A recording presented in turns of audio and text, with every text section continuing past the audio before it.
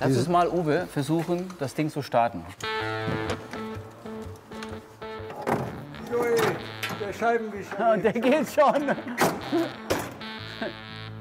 Okay, Uwe, wir probieren's. Normalerweise springt er nicht an, weil... Einer muss Optimist sein. Okay, der springt an.